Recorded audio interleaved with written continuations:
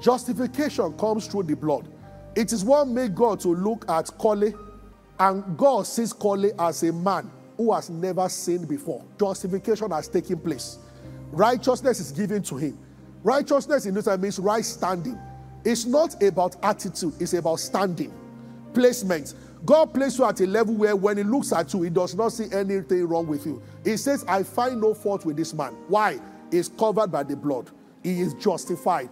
Justified means, even in legal term, just as if you never did it. But people can still say that, well, they pardoned him, but it was one that stole the car, but they pardoned him. Justification means that nobody sees him as someone that wants to steal the car anymore.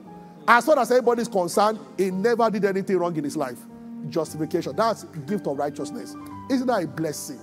Hallelujah. And that's the breastplate we are wearing.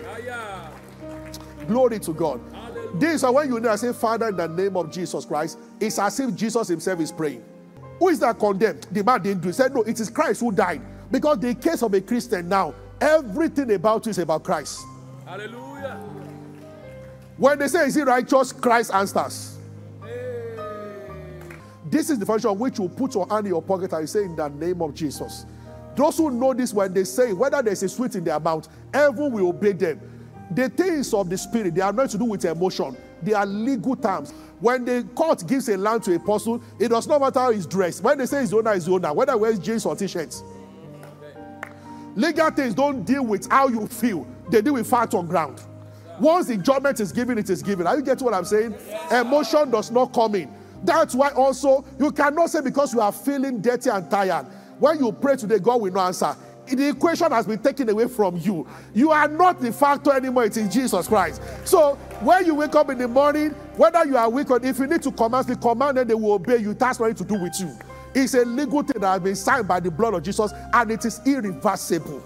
As a matter of fact, you should be afraid when you want to pray. When you think you have done everything we're doing, you pray very well in the morning. That's why you come out. That means your confidence is what you have done. But we believe in Jesus. Hallelujah. You might have just finished eating a bowl of amala.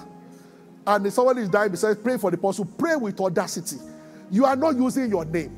You are using the name of Jesus. You are the one getting tired. The name is not tired. Glory to God.